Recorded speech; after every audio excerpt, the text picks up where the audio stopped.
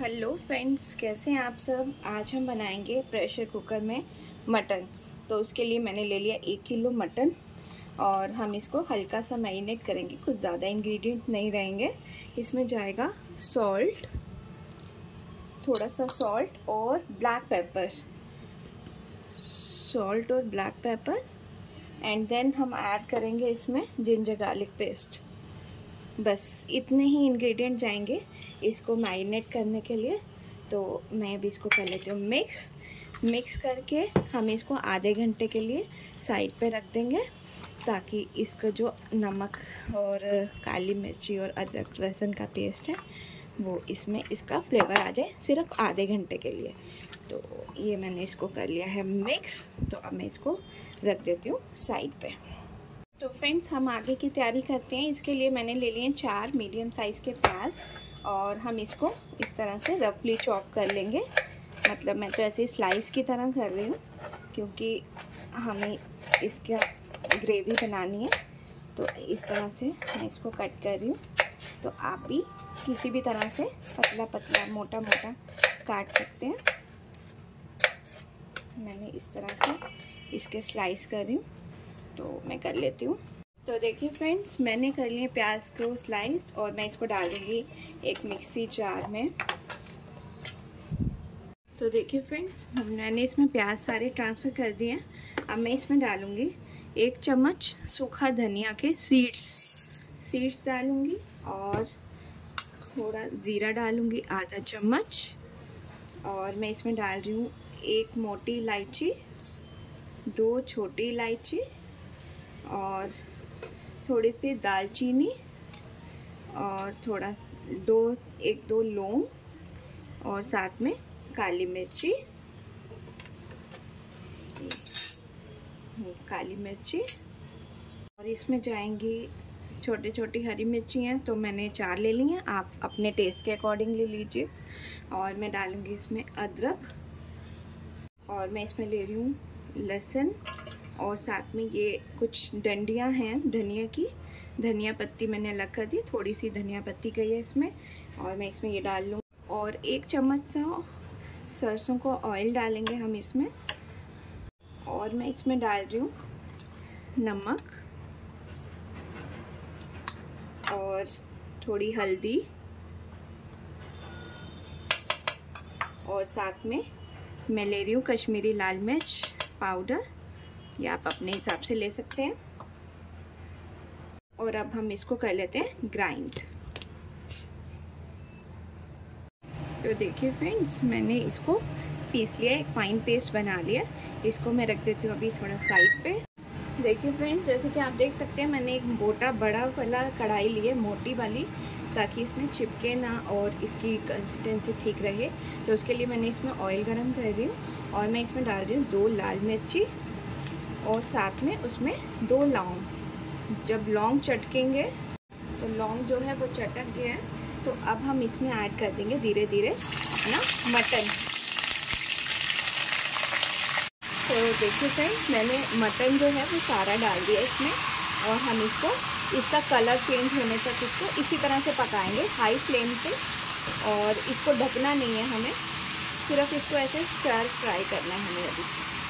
तो इस तरह से हम इसको चलाते हुए इसको फ्राई कर लेंगे। तो देखिए फ्रेंड्स आप देख सकते हैं इसका सारा कलर चेंज हो गया, यानी कि ये हल्का फ्राई हो गया। तो अब हम इसमें डालेंगे, ये जो हमने पेस्ट बनाया इसको हम इसमें ऐड कर देंगे। तो देखिए फ्रेंड्स मैंने इसमें वो मसाला ऐड कर दिया है, जो हमने पेस्ट बनाया था। अब हम इसके साथ इसको अच्छे से भूनेंगे। तो देखिए फ्रेंड्स इसमें ये जो इसका मसाला है, ये सारा इसको चिपक गया है, यानी कि ये भूज गया है। तो अब हम इसमें डालेंगे एक कटोरी फैंटी हुई दही। मैंने फेंटी है दही और इसको इसमें डाल दिया। और इसको ज़्यादा नहीं पकाना है, बस थोड़ा सा ऑयल रिलीज़ हो जाए, तब तक इसको आप दही को हमने भूनना है इसमें।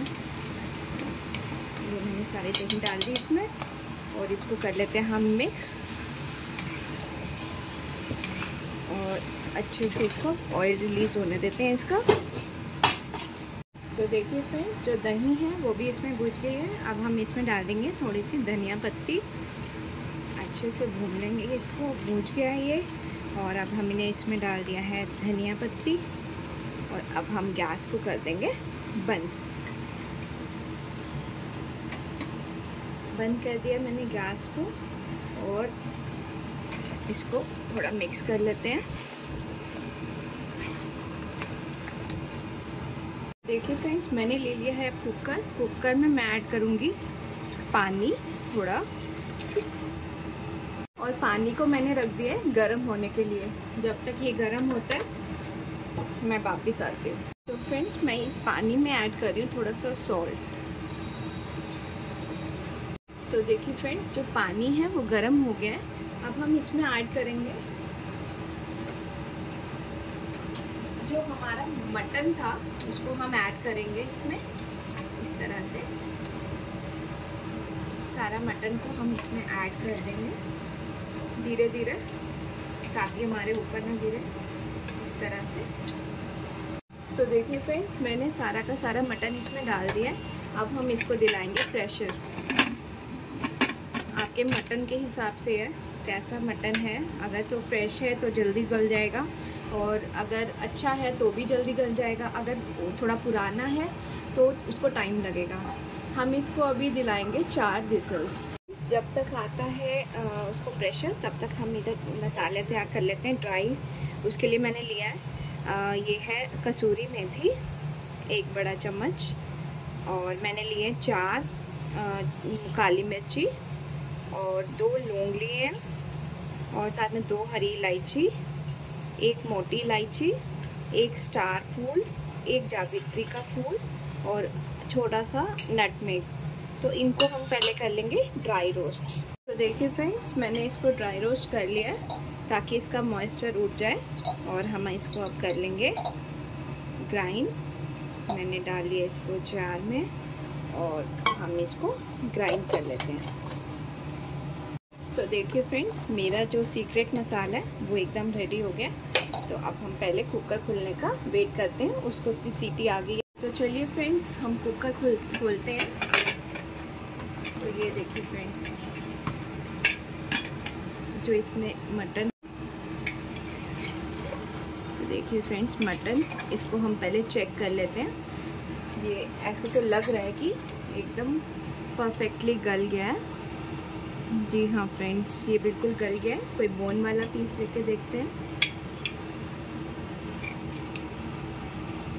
जी हाँ देखिए, कितनी अच्छे से गल गया ये। तो ये जो मैंने पीस लिए थे, ये रान के पीस लिए थे, जो आगे की फ्रंट लेग होती है, उसके पीसेस लिए थे। तो अब मैं इसमें ऐड कर दूँगी अपने ये वाला मसाला, जो अभी हमने ड्राई मसाला भूना है। इसको भी ऐड कर देते हैं। और इसमें मैं डालूँगी हरा धनिया। तो मैंने छोटा छोटा चॉप करके इसमें डाल दिया है धनिया। और अब हम इसको थोड़ी देर के लिए ऐसे ही बिना ढके थोड़ा सा इसको पकाएँगे। पकाएँगे मीन्स इसको हम थोड़ा सा गैस ऑन करके चलाएँगे बिना ढके और बिना पकाए। तो देखिए फ्रेंड्स इसमें आ गया बॉयल अब हम इसको बस बंद कर देंगे गैस ऑफ़ करके इसको ढक के रख देंगे इस तरह से. कम से कम 15 से 20 मिनट के लिए. तो देखिए फ्रेंड मेरा मटन एकदम बनकर रेडी हो गया. मैंने इसको सर्व किया है नान के साथ. Thank you for watching